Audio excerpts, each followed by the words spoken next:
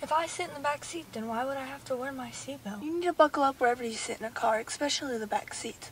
Because if we were to get in a wreck, your body could fly up here, injuring the people sitting in front of you. Oh, I didn't know that. There's a lot of people I know who believe when they sit in the back seat that they don't have to wear their seatbelt.